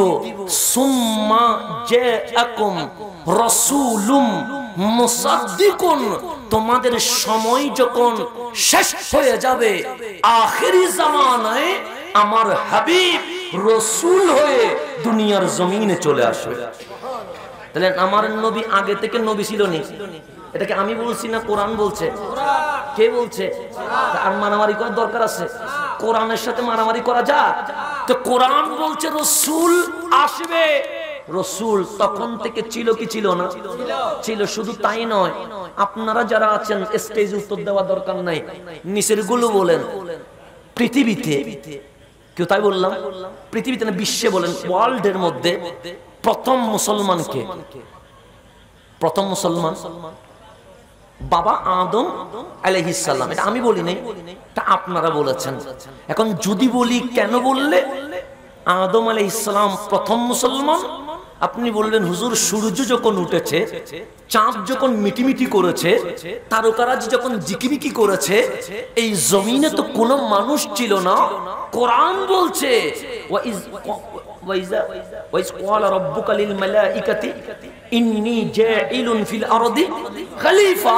সর্বপ্রথম জমিনে খলিফা হয়ে একজন এসেছে। উনি বাবা আদম, যেহেতু দুনিয়াতে প্রথম মানুষ, বাবা আদম, সেক্ষেত্রে প্রথম মুসলমান বাবা আদম। কথা ঠিক নেই? এটা নিয়ে কোনো মারামারি আছে? এখন আমি বললাম, প্রথম মুসলিম বাবা আদম। আপনি বললেন, প্রথম মুসলিম বাবা আদম। কোরআনটা একটু খুলেন না। কোরআন বলছে, কল। ও আমার হাবিব, আপনি বলেন না যে কি বলব? যে ইন্না নিশ্চয় সলাতি, আমার নামাজ ও নুসুকি, আমার কোরবানি ও আমার জীবন ও আমার মরণ লিল্লাহি রব্বিল আলামিন, একমাত্র রব্বুল আলামিন আল্লাহর জন্য। তো আমার নবী কেন বলবে? নবীর আগে তো বাবা আদম, আমার রসুল কেন বলবে? আমার নবীর আগে তো হজরত নু আলহিস সালাম আমার নবী কেন বলবে? আমার নবীর আগে তো বাবা ইব্রাহিম সালাম। আমার নবী কেন বলবে? আমার নবীর আগে তো ঈসা সালাম। আল্লাহ বলছেন, হাবিব, এই কারণে বলবেন। ও আপনি বলেন ও আনা আনা মানি আমি রসুল, আউয়ালুল মুসলিমিন। বাবা আদম প্রথম মুসলমান নয়। আমি নবী, যখন সূর্য নাই, যখন জমিন নাই, যখন আসমান নাই, আদমের আগেও আমি নবী মুসলমান হয়ে গেছে। এটাকে আমি বলছি, কোরআন বলছে। তো ঝগড়া করার কি দরকার? মারামারি করার কি দরকার? আপনি আকিদা কোরআন থেকে নেন। ও আনা আউয়ালুল মুসলিমিন। আমি প্রথম মুসলমান। এটা কে বলছে? নবী বলছে। কিন্তু নবী তো নিচ থেকে বলেন কল, হাবিব আপনি বলেন। তা আল্লাহ বলছে, আপনি রসুল বলবেন, আপনি প্রথম মুসলমান। তো প্রথম মুসলমান কে হয়? যিনি ইমান আনে, তা যখন আপনি নাই, যখন জমিন নাই, যখন আসমান নাই তখন নবী ছিল কি ছিল না? ছিল। সেই জন্য সৃষ্টিতে প্রথম রহমতুল্লিল আসছে সবার শেষে। যদি বলেন, হুজুর, সৃষ্টিতে প্রথম হইলে উনি আগে আসে নাই কেন? শেষে আসলেন কেন? প্রশ্ন আসে না নাই? পোস্টার কি আমি বানাইছি? এখানে আমার কোন হাত আছে? আপনার সাথে আমার কথা হয় নাই। হয়েছে নি? এখন পোস্টারটা দেখেন। আচ্ছা আমি করে চলে আগামীতে কোনো মাহফিল করলে একটু ভালো করে আমি এগুলো অবজেকশন দিব না, কারণ এটা আল্লাহ রসুলের মাহফিল। এই পোস্টারকে আমি করছি। এটা কে করছে? কমিটি করছে। কথা নেই। এটা করছে কে? আমি শাস দুইটা নাম দিয়ে বলব। এখানে লেখা আছে, বিশেষ মহা- মেহমান। হাফেজ মৌলানা মোহাম্মদ হারুনুর রশিদ, ওনার নাম কোথায়? নিচে। কথা ঠিক না? আমি অযোগ্য, অদম, আমার নামটা দিছে কোথায়? উপরে। এখন নিচের নাম হচ্ছে হারুনুর রশিদ। মাইন্ড করবেন না জাস্ট বলার জন্য। আর উপরের নাম হচ্ছে কার? আমার। এখন মাহফিল সবার শেষে আমি করছি। না মৌলানা হারুনুর রশিদ সাহেব করছে। সবার শেষে কে করছে? আমি করছি। তাহলে আপনি এখন আমি যদি বলি, না না আমার নাম উপরে, আমি সবার আগে, যার নাম নিচে, উনি সবার পরে। আপনি বলবেন মানি না। আমরা বলব, কেন? যে নিচে যাদের নাম হয়, তাদেরকে আগে করতে হয়, উপরে যার নাম হয় ওনাকে শেষে আসতে হয়। তা আল্লাহ বলছে মুসলিমিন, প্রধান অতিথির নাম আপনি নবী রহমতুল্লিল আলামিন, বিশেষ অতিথি আদম থেকে ঈসা পর্যন্ত। হাবিব, যাদের নাম শেষে হয়, জমিনে আসবে আগে, যার নাম উপরে হয়, ওনাকেই সবার শেষে যেতে হয়। এটা আমি বলিনি আপনাদের পোস্টার বলতেছে। মারামারি পোস্টার সাথে করেন। ঝগড়া করার কিছুই নাই, দলিল দিয়ে কথা। দলিল দিয়ে আসবেন। ঝগড়া করার কোনো দরকার নাই। তাহলে নবী তখন থেকেও নবী ছিল কি ছিল না? ছিল, তখন থেকে রসুল ছিল কি ছিল না? আর আপনি নবীকে চিনবেন থেকে আপনি তো সিদ্দিক আকবরের মতো হতে পারেন নাই। আপনি নবীকে চিনবেন থেকে আপনি তো ফারুক আজম হতে পারেন নাই। রহমতুল্লিল আলামিন দুটো হাত দিয়ে দাড়ি মোবারককে এভাবে করে মালিশ করলেন। মালিশ করে দেখে দুইটা দাড়ি মোবারক চলে এসেছে হাতে। কোথায় এসেছে? এরকম করলে দাড়ি অনেক সময় চলে আসে না। আসে তো। আল্লাহর রসুল মুখে হাত দিয়ে মালিশ করলেন। দুইটা দাড়ি মোবারক ঝরে পড়লেন, চলে আসলেন। ওই দুইটা দাড়ি মোবারক নিয়ে আমার নবী বলছে, ইয়া বাবাকা এ আবু বাকা এই দাড়িগুলো তোমাকেই গিফট করে দিলাম। তোমাকে কি করে দিলাম? এখন আমি যদি এইভাবে করি দুইটা দাড়ি নিয়ে বাচ্চারাও যদি বলি, তোমার গিফট করলাম। ও মাথা গরম হয়ে যাবে, কিরে, হুজুর আমার এগুলো কি দিল? এটা দিয়ে আমি কি করব? এটা তো কোনো কাজ নাই। সিদ্দিক আকবর বলে নাই ইয়া রাসূলুল্লাহ, এটা দিয়ে আমি কি করব? এটা তো কোনো ফজিলত নাই। এটা দিয়ে আমি কি করব? না রসুল দিতে দেরি। সিদ্দিক আকবর যেন দুনিয়ার সব পেয়ে গেছে, এমন খুশি হয়েছে নবীর দাড়ি মোবারক নিয়ে চুমু দিয়ে নিজের প্যাকেটে রেখে দিলেন। গড়ে গিয়ে রহমতুল্লিল আলমিনের দাড়ি মোবারক একটা পাত্রে সুন্দর করে বেষ্টন করে, যেই ঘরের মধ্যে কেউ থাকে না, সেখানে উপরে রেখে দরজা দিয়ে তার তালা মেরে দিলেন। কেন? ওখানে রসুলের কি আছে? দাড়ি মোবারক আছে। এহতেরাম, সম্মান। রসুলের দাড়ি মোবারক রাখলেন। এরকম দিনের পর দিন চলে যায়। সিদ্দিক আকবর শুনছে, ওই রুম থেকে কেউ যেন কোরআন তেলাওয়াত করছে। কিন্তু রুমে তো কেউ নাই। আমার মাঝে মাঝে শোনে, কেউ যেন দলবদ্ধ হয়ে নবীর উপর দরুদ সালাম পড়ছে। এরকম দিনের পর দিন যায়। সিদ্দিক আকবর দৌড়াই আসলেন নবীরে। আমার একটা কক্ষ রুম আছে, গুরফা আছে, হুজুরা আছে, যেখানে কেউ থাকে না। কিন্তু মাঝে মাঝে আমি কোরআন তেলাওয়াতের শব্দ শুনি, মাঝে মাঝে দলবদ্ধ ভাবে দরুদ সালামের শব্দ শুনি। নবীর কারণটা কি? আমার নবী বলে, আবু বকর, ওই রুমে কি আছে? আপনি নবী মাসে করে আমাকে যে দুইটা দাড়ি মোবারক দিয়েছিলেন, ওই দাড়ি মোবারকগুলো আমি আমার ওই রুমে রেখেছিলাম। আমার নবী বলে, আবু বকর, শোনো আমার দাড়ি মোবারকগুলো কোরআন তেলাওয়াত করে, আর আসমানের রহমতের ফেরেশতা ওই দাড়ির উপর সালাতু সালাম করতে থাকে। আপনি নবী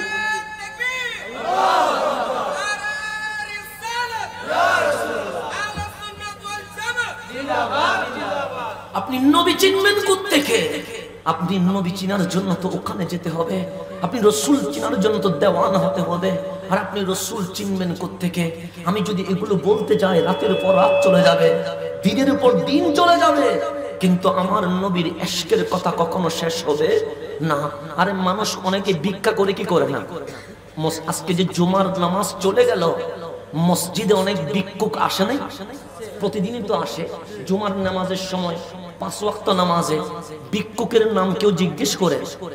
জিজ্ঞেস করে, আমরা কত মসজিদে গেলাম, কত ভিক্ষুক দেখলাম, কিন্তু জীবনে কোনোদিন শুনেছেন কেউ দাঁড়িয়ে ভিক্ষুকের নাম জিজ্ঞেস করতে? পাঁচ, দশ যা পারে দিয়ে দে, কিন্তু কেউ কখনো খবর নেয় না। কিন্তু গরিবের নাম যিনি মনে রাখে উনি তো আপনার নবী রহমতুল্লিল আলমিন। মদিনার মসজিদ নববীতে সবচেয়ে নিগ্র কালো কাপড়গুলো ছেঁড়া। জীবনে কখনো জুতা চিনেই নাই পড়বে থেকে সবচেয়ে গরিব নাম তার জুলাইবি রদি আল্লাহ গরিব বলে এক কোনায় বসে থাকতেন। গরিব বলে কোথায় বসে থাকতেন? মানুষের সাথে মিশতো না, কারণ গরিব কাপড় ছেঁড়া। এক বেলা খায় তো তিন বেলা। খাওয়ারই জুটে না। তো উনি কার সাথে মিশবে? কে উনারে বন্ধু বানাবে? রসুল পাক মসজিদে নবীতে আসলেন, মাহফিল শুরু করলেন, দরস দিতে লাগলেন, কোরআনের তাফসির করতে লাগলেন, হঠাৎ করে বললেন, ও আমার সাহাবি, আতারিফুহু? তোমরা ওকে চিনো? হযরত জুলাইবি তো দূরে কোনাই বসে নবীর দিদার করছে, নবীর পড়াগুলো মুখস্থ করছে, কিন্তু কারও সাথে বসে নাই। বসেছেন কোথা একলা বিক্ষুব্ধ বাহিরেই বসে জুলাইবি কোনায় বসে আছে। আমার নবী বলছে চিনো না সবাই বললেন লায়া রসুল্লাহ তার নাম আমাদের মুখস্থ নাই, কিন্তু জানি সে মসজিদে নবীর কোনায় বসে থাকে। জানি নামাজের ওয়াক্তে নামাজ পড়ে। জানি আপনি নবী যেখানে, সে সেখানে দূরে বসে আপনি নবীর দিদার নিতে থাকে। কিন্তু জীবনের নাম জিজ্ঞেস করা হয়, নাই, আমার নবী বসে জুলাই বিবি এটাকে জানো?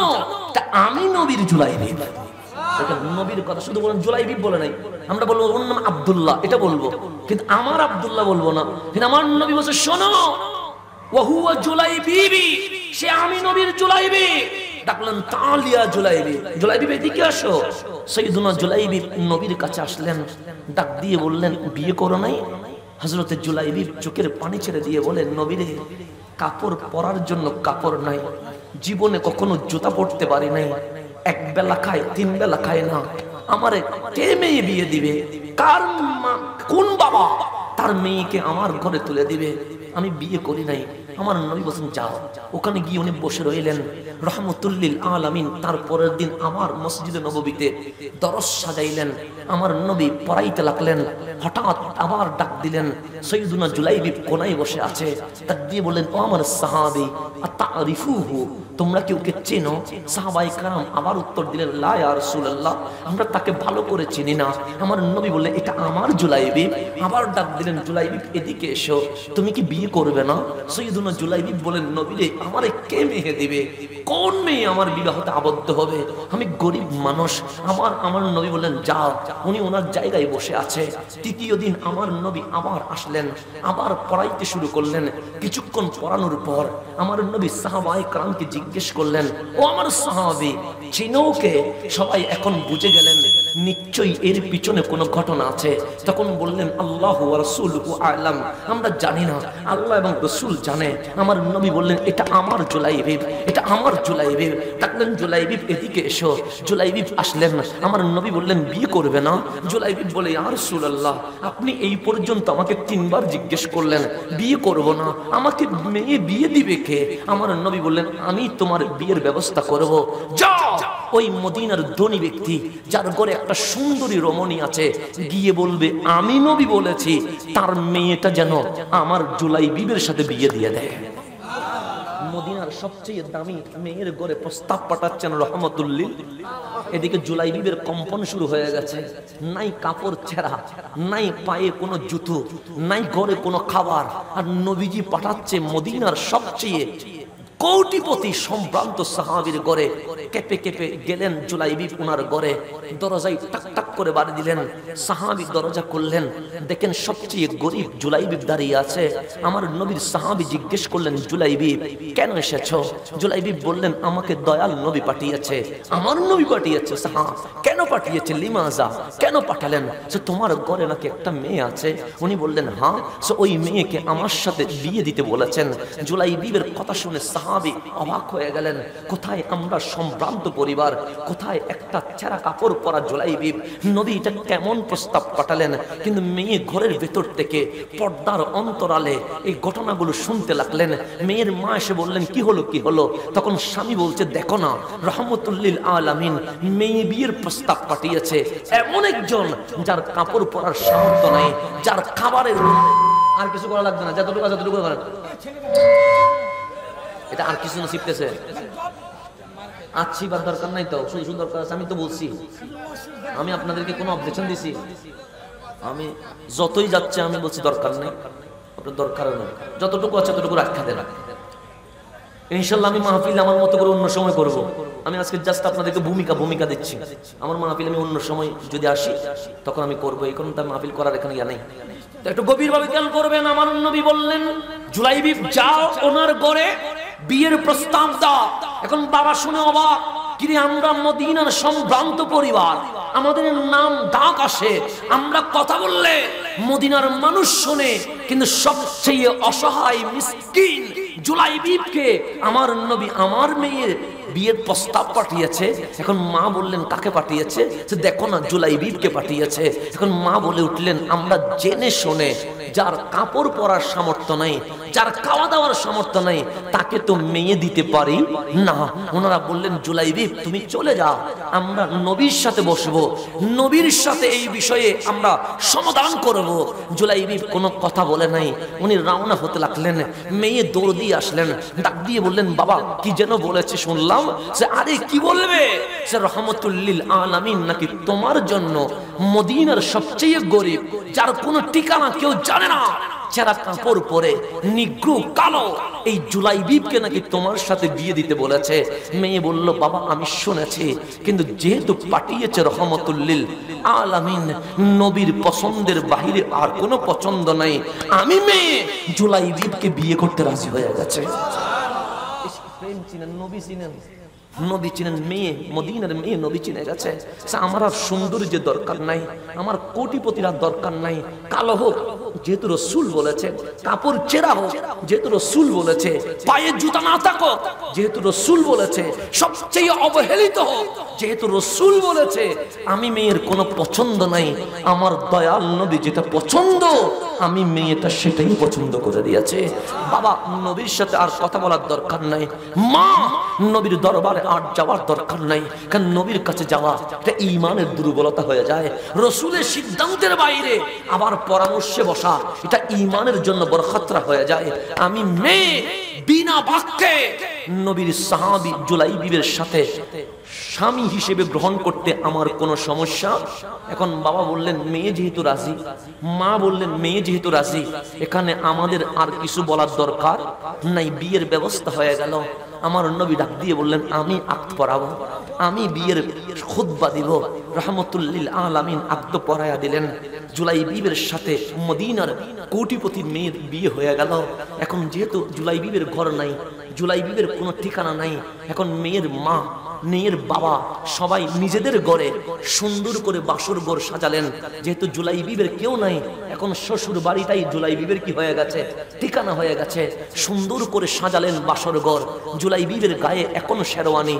জুলাই বিবের গলায় এখনও পর্যন্ত গলার মালা রয়ে গেছে। জুলাই বিবের মাথায় এখনও বিয়ের পাগড়ি রয়ে গেছে। জুলাই বিব আব্দ শেষ করে মসজিদের নবী থেকে আসলেন কোথায়? শ্বশুর বাড়িতে। এখন মা বাবা বললেন, যাও বাসর ঘরে। তোমার স্ত্রী তোমার অপেক্ষায় রয়ে গেছে। জুলাই বিব ঢুকলেন বাসর ঘরে। বউ বসে আছে।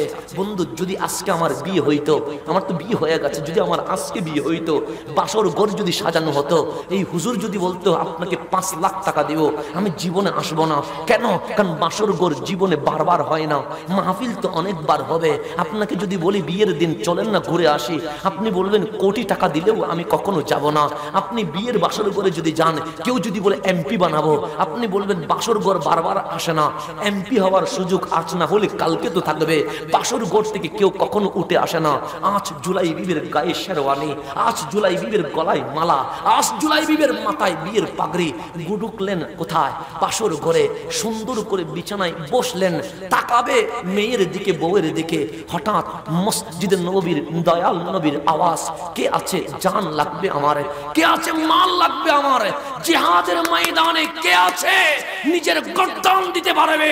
জুলাই বিবের কানে শব্দ আসতে দেরি। বাসর ঘরের বিছানা থেকে জুলাই বিব নেমে দাঁড়িয়ে গেছে। আর বউয়ের দিকে তাকায়। নাই, বাসর ঘর ছেড়ে দিয়ে নামে গেছে। এখন বউ জিজ্ঞেস করছে জুলাইবিব স্বামী আমার আমাকে পছন্দ হয় নাই? তখন জুলাইবিব বলছেন, পছন্দ না হলে কি বিয়ে হতো? আরে, বিয়ে তো করেছি, পছন্দ হয়েছে বলে। তো আপনি বিছানায় উঠলেন, আমার দিকে তাকালেন, না তাকিয়ে দাঁড়িয়ে গেলেন কেন?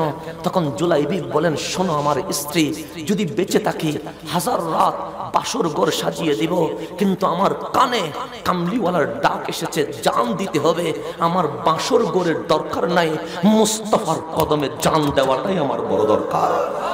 জুলাইবি বের হয়ে গেছে ঘর থেকে শ্বশুর ধরে ফেলেছে, শাশুড়ি ধরে ফেলেছে। জুলাইবি আইনা তাজহাব। যাচ্ছ কই? দয়াল নবীর কদমে যাচ্ছি। আমি রহমতুল্লিল আলামিনের দরবারে নিজের গর্দান কোরবান করতে যাচ্ছি। শ্বশুর শাশুড়ি বললেন জুলাইবি বাসর গড় মানুষের জীবনে বারবার আসে না। আমার মেয়ের স্বপ্ন তুমি চুরমার করে দিয়ে যেও না।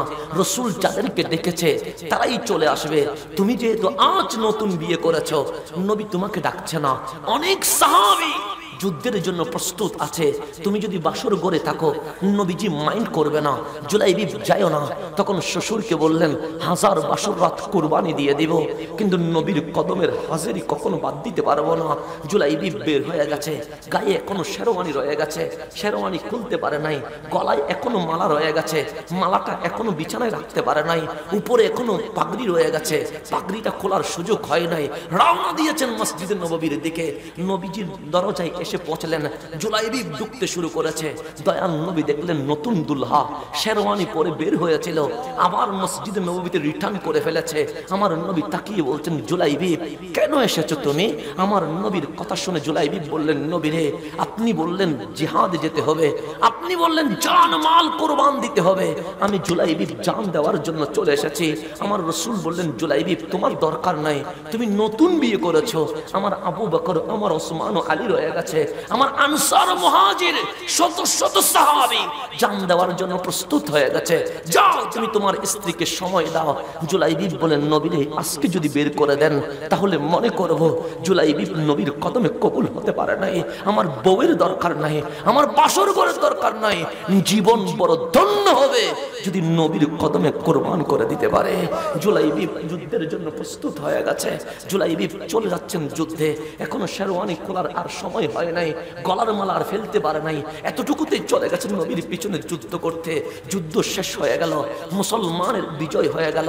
সবাই যারা শহীদ হয়েছে, আমার নবী বললেন, যাও, শহীদদেরকে খুঁজে খুঁজে নিয়ে আসো, কারণ ওদের জানাজার পর দাফন করতে হবে। সবাই তাদের পরিচিত, যারা শহীদ হয়েছে যুদ্ধের ময়দানে তাদেরকে এক এক করে আনতে লাগলেন।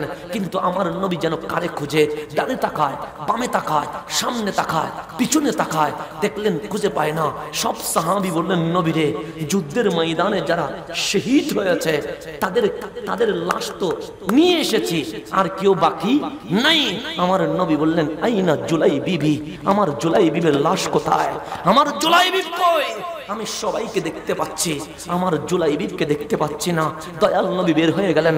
জুলাই বিবের লাশ খোঁজার জন্য আমার নবী দেখলেন সাতটা মুশরিকের লাশের মাঝখানে জুলাই বিব শহীদ হয়ে পড়ে আছে। রসুল ডাক দিয়ে বললেন, জুলাই বিব সাতজন মুশরিককে মারার পর তুমি জুলাই বিব শহীদ হয়ে গেছ। রসুল জুলাই বিবকে জড়িয়ে ধরলেন, জড়িয়ে ধরে বুকের মধ্যে লাগালেন। ডাক দিয়ে বললেন, মাওলা, জুলাই বিব মিন্নি ও আনা মিন জুলাই বিব জুলাই বিব আমার থেকে, আমি নবী জুলাই বিব থেকে, জুলাই বিব আমাকে করে ফেলেছে, জুলাই বিব আমাকে করে ফেলেছে, জুলাই বিবের মাথা মোবারক নবীর বককে লাগিয়ে রাখলেন, কান্নাকাটি করতে হঠাৎ করে আমার নবী চেহারাটা পিছনের দিকে নিয়ে দিলেন, জুলাই বিবের চেহারার দিকে আর তাকাচ্ছে না সাহাবাই কারাম অবাক কিরে জুলাই বিবকে বুকে ধরে নবী কাঁদলেন, জুলাই বিবের দিকে তাকিয়ে নবী কাঁদলেন, এই বিবের থেকে মুখ ফিরালেন কেন? ডাক দিলেন, ইয়া আপনি জুলাইবিব থেকে মুখ ফিরিয়ে নিলেন কেন? আমার নবী বললেন, আমি আসমানের দিকে তাকিয়ে দেখলাম, আমার জুলাই বিবকে নেওয়ার জন্য জান্নাতের হেরে কালমান জান্নাত থেকে বের হয়ে গেছে। আজকে জুলাই বিবকে নেওয়ার জন্য হেরে গালমানরা এসে গেছে আমার লজ্জা লাগছে। আমি কেমনে ওদের দিকে তাকাই? আমার জুলাই বিব মাওলার দরবারে কবুল হয়ে গেছে। বন্ধু, আজকে ফিলিস্তিন যুদ্ধের বিজয়ের ইতিহাস আমরা দেখতে চাই। বন্ধু, আমরা আফগানিস্তান, ইরাক বিজয়ের স্বপ্ন দেখি। বন্ধু, আমরা আজকে ইসলামী খেলাফতের কায়েমের স্বপ্ন দেখি। আরে মুখে বললে খেলাফত কায়েম হবে না।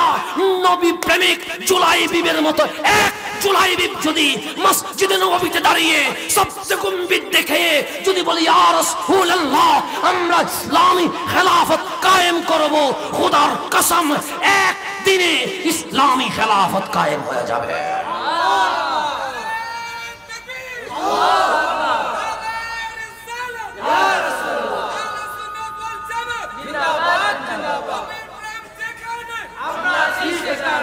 আপনি জুলাই বিবের মতো আশেকের সুল হতে পারেন নাই। আপনি নবীর উম্মত দাবি করেন। আপনি সিদ্দিক আকবরের মতো আশেক হতে পারেন নাই। আপনি নবীর উম্মত দাবি করেন। আর খালেদ বিন ওয়ালিদের কথা বলছিলাম, যিনি যুদ্ধের ময়দানে গেলে, যুদ্ধের ময়দানে ইসলামের বিজয় উঠে যায়, বিজয়ের পতাকা উদ্দিন হতে থাকে। সবাই ওনার তারিফ করছে। যেমন বর্তমানে আমরা এরদোগানের তারিফ করি না? বাংলাদেশের মুসলমান এরদোগানের পক্ষে কথা বলে। হিন্দুস্তানের মুসলমান, এরদোগানের পক্ষে কথা বলে, পাকিস্তানের মুসলমান, এরদোগানের কথা বলে। নির্বাচন হচ্ছে তুরস্কে। আমি দেখেছি অসংখ্য যুবক যাই নামাজে বসে মাওলার দরবারে হাত তুলেছে এরদোগানের জন্য। আছে না নাই? আছে তো নির্বাচন তো তুরস্কে। আপনি কেন এরদোগানের বিজয় চান? কারণ আপনার বিশ্বাস এই এরদোগানের মাধ্যমে ইসলামী খেলাফতের সূচনা হবে। কথা ঠিক না? তো সেই সময়ও মানুষের হৃদয়ে নাম ওনার নাম খালেদ বিন ওয়ালিদ রদি আল্লাহ সারা জায়গায় খালেদ বিন ওয়ালিদের প্রশংসা চলছে। ওনার কানে আসছে যে বিশ্বের সমস্ত মুজাহিদিন হজরতে খালেদ বিন ওয়ালিদের প্রশংসায় মুগ্ধ। খালেদ বিন ওয়ালিদ মাঠে আসলেন, ডাক দিয়ে বললেন, ইয়া আইয়ুহাল মুজাহিদুন, এই মুজাহিদ যুদ্ধরা তাআলাও বিনা, আমার সামনে এসো। সবাই বীর হলেন। খালেদ বিন ওয়ালিদ বললেন, তোমরা আমার প্রশংসা করেছ?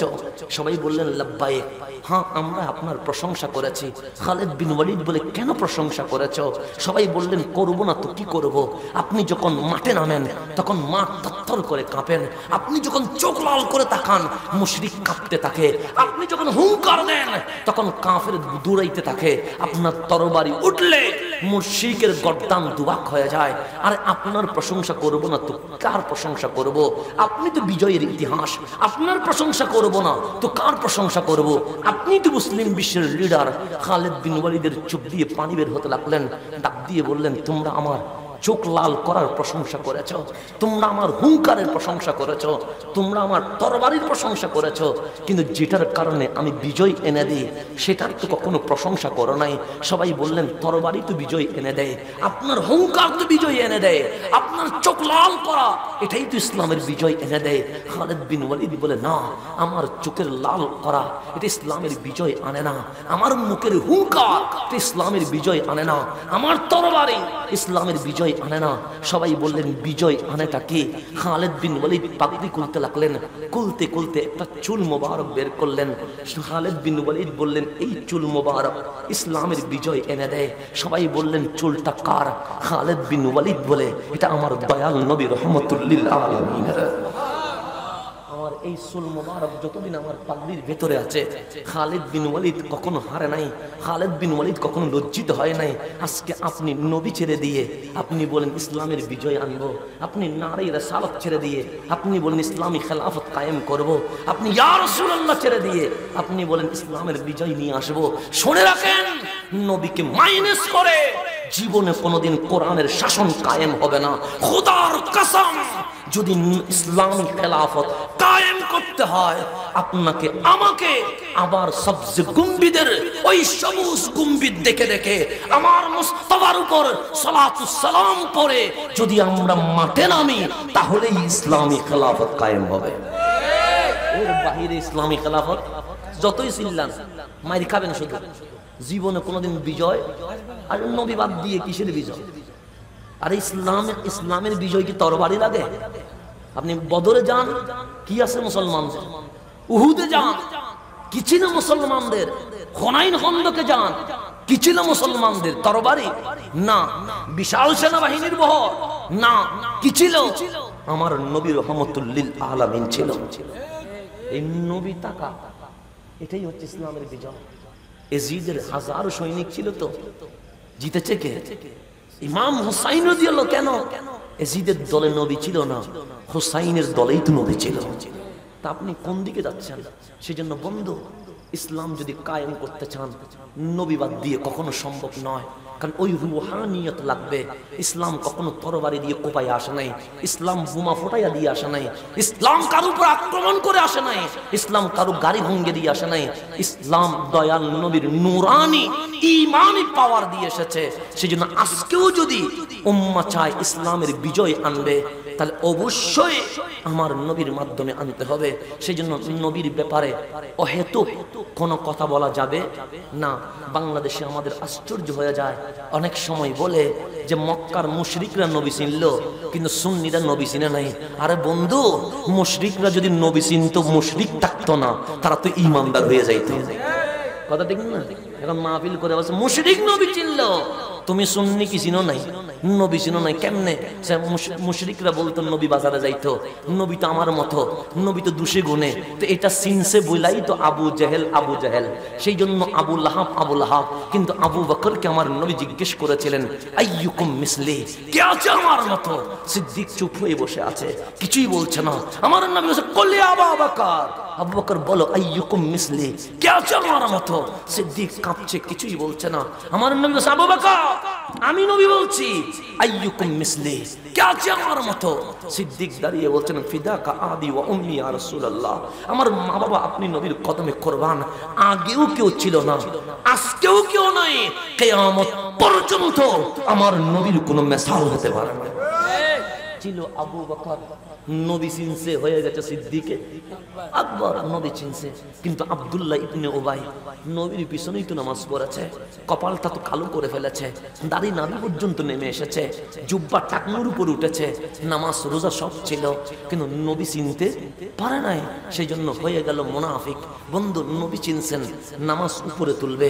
নবী চিনেন নাই, নামাজ রোজা আপনাকে উপরে তুলতে পারে না। তো আজ আমাদের পুরান সৈয়দপুরের কবরবাসীর ইসালে সওয়াব আমি সেই কারণে আমি বললাম, নামাজ লাগবে নামাজ লাগবে, রোজা লাগবে, হজ লাগবে, এগুলো বাদ দেওয়া যাবে। কিন্তু এই এবাদত কবুল করার জন্য অবশ্যই ঈমান লাগবে। ওই ঈমানের দাবি রহমতুল্লিল আলামিন, নবীর মুহাব্বত লাগবে। এই মুহাব্বত বাদ দিয়ে, এই মুহাব্বত মাইনাস করে দিয়ে, এই মুহাব্বত বিলীন করে দিয়ে এই মুহাব্বতের স্লোগান বন্ধ করে দিয়ে আপনার এবাদত আপনাকে কখনো জান্নাত দিবে না।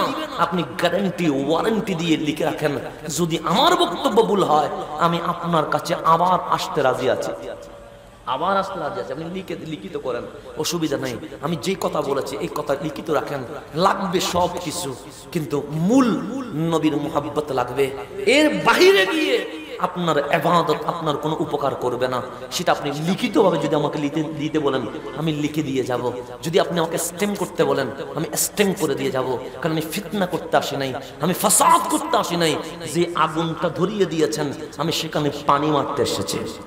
এখানে পানি বন্ধ করে দিতে হবে, কারণ পানি না মারলে আগুন ধরতে থাকবে আগুন বন্ধ করতে হবে। বন্ধু, অনেকেই বলে, তুমি নবী নবী করো কেন? আমি নবী নবী করি কবরের জন্য। আপনি আমাকে বলবেন, তুমি নবী নবী করো কেন? আমি নবী নবী করি হাসরের জন্য। আপনি আমাকে বলবেন, তুমি নবী নবী করো কেন? আমি নবীর লাভ করতে পারব না, কারণ নবীর লাভ হবে হবে না। আর আপনি নবী নবী করলেও কি? নবীকে গালি দিলেও কি? নবীর শানও বাড়বে না, নবীর শান কমবেও না। কারণ ওয়ারাফানা লাকা জিকারা আল্লাহ বলে পোস্টার দিয়ে কি হবে? ফেসবুক দিয়ে কি হবে? ইউটিউব দিয়ে কি হবে? আমি মৌলা নিজেই আমার নবীর শান বাড়াইয়া দিছি। বাড়াইছে কে? আমি কি কমাইতে পারব? কিন্তু আমি একটা কারণে নবী নবী করি। যদি বলেন, কেন? এই যুবকগুলো আমাকে প্রশ্ন করে, হুজুর, যেখানে যান, সেখানে নবী নবী করেন কেন? তখন আমি তাদেরকে খালি একটা কাগজ দিয়ে দিই। আমি বলছি, আমি আজকে থেকে নবী নবী করব না। তবে একটা লিখে দাও কি লিখে দিব? তোমার, তুমি যার কথা বলতে বলবে, আমি তার পক্ষে কথা বলব। কিন্তু লিখে দিতে হবে? ও আমার কবরে আসবে।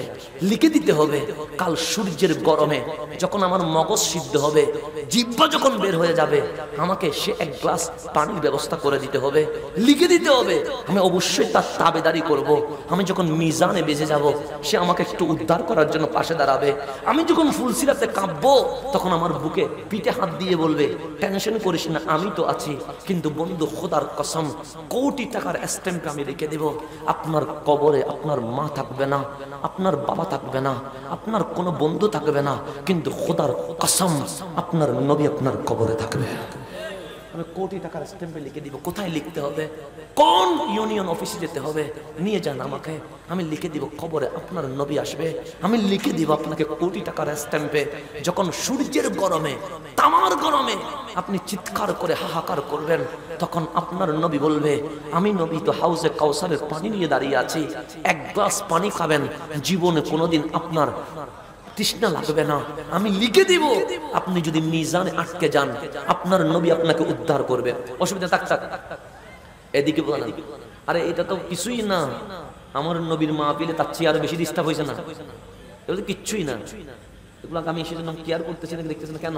কারণ হকের কথা বলব, মানুষ কম থাকবে। হকের আওয়াজ করব ডিস্টার্ব বেশি হবে। কিন্তু এখন যদি আমি তেল মালিশ করে ডানে বামে এগুলো বলতাম, দেখতেন সবচেয়ে সবকিছু ভালোই চলতো। কিন্তু হক বাদ দেওয়া যাবে? বাদ দেওয়া যাবে না। আমি আপনাকে প্লাস মাইনাস বুঝাই দিলে হবে না। কারণ কাল কবরে আমাকে জিজ্ঞেস করবে, মা কুনতা তাকুল ফি হাযার রাজুল? লি মুহাম্মাদিন আলাইহি ওয়াসাল্লাম, নবীর শানে তুই কি বলেছিলি? তখন আমি নবীর দিকে তাকিয়ে আমার দিকে তাকিয়ে মনকার নাকির আমাকে বলবে, কি বলেছিলি? কি বলেছিলি? আমি যদি বলব, আমি যদি বলতাম যে মাহফিল কমিটিকে খুশি করার জন্য, নবীর কথাগুলি স্কিপ করে গেছি, মানুষকে খুশি করার জন্য প্রেমের আলোচনা করেছি, যে কেন যেন কেউ মাইন্ড করতে না পারে জান্নাত জাহান্নামের কথা বলে চলে এসেছি। না না না, এগুলো আমার কোনো উপকারে আসবে না। কিন্তু আদার কবরে নবীর দিকে তাকিয়ে আমি অন্তত বুক ফোলাইয়া বলতে পারব ইয়া রাসূলুল্লাহ এই সৈয়দপুরের জমিনে গিয়ে আমি আপনি নবীর পক্ষে কথা বলে এসেছি। নারায় আমার আমল। নারায় রিসালাত। শাহেনশাহে মদিনা। এটা আমার আমল নামা আমি রসুলকে বলতে হবে তোমাকে কি নিয়ে এসেছিস? আমি রসুলের জন্য কি নিয়ে যাব? রসুল জিজ্ঞেস করবে না উম্মত জন্য আমি কান্না করেছি। উম্মত জন্য আমি পিঠের মধ্যে উঠের ভুড়ি নিয়েছিলাম। উম্মত জন্য আমি তাইবের মধ্যে শত শত পাথর আমার গায়ের মধ্যে মেরেছে। উম্মত তোর জন্য এই দান্দন মোবারক উহুদের ময়দান আমি শহীদ করে দিয়েছিলাম। বলবেন আমার রসুল, তোকে আমি কি দিই নাই? তুই কি দিকে এনেছিস আমার জন্য? আমি রসুলকে কি দিব? এবার ভেবে দেখেছেন? আপনার নবী আপনাকে জিজ্ঞেস করবে না? করবে তো, হুদ, আমি যে দন্দন মোবারক দিলাম, তুই উম্মত আমার জন্য কি দিয়েছিস? বলবে না? আপনি কি বলবেন রসুলকে? কি বলবেন রসুলকে? সেই জন্য আমি নবীকে বলার জন্য এগুলো করছি। আমি যখন কাল মরে যাব, আমি রসুলকে বলব, ইয়া রসুল আল্লাহ আমি আপনার পক্ষে কথা বলেছিলাম। আমি মানুষের ষড়যন্ত্রের শিকার হয়েছি। গালি শুনেছি, অসংখ্য কমেন্টস আমাকে বকা দিয়েছে। কিন্তু আমি নবীর আলোচনা কখনো স্কিপ করি নাই। বন্ধু সেই জন্য নবী লাগবে। আমি কথা যেটা দিকে, শেষের দিকে এন্ডিং এর দিকে যেটা আসলাম। প্রথম মাহফিল আল্লাহ যেন কবুল করে নেন। তো আমি অন্ধকার কবরে নবী লাগবে কি লাগবে না? লাগবে আপনার যখন মিজানে দাঁড়াবেন, সেখানেও নবী আসবে। আপনি যখন ফুলসিরাত পার করাবেন, আমার নবীল টেনশন করিস না, ওখানেও আমি নবী তোর সাথে থাকব। তো যেখানে আমার কবরে, আমার হাসরে আমার নসরে আমার মিজানে, আমার ফুলসিরাতে যিনি আমার সঙ্গী হবেন, তার চেয়ে আপন এই জমিনে আর কেউ থাকতে পারে? তো বন্ধুর কথা বলবেন না তো কার কথা বলবেন? প্রেমিকের কথা বলবেন না তো কার কথা বলবেন? ওনার সালাত সালামের কথা বলবেন না কার কথা বলবেন? তা আল্লাহ যেন আমাদেরকে বুঝার তৌফিক দান করে। আজকে এতটুকুতেই রাখলাম। রব্বে করিম সকলের হাজিরকে কবুল করুক। আমিন। ওয়াখার দাওয়ানা আনিল হামদুলিল্লাহি রব্বিল আলামিন। আসসালামু আলাইকুম ওয়া রাহমাতুল্লাহি ওয়া বারাকাতুহু।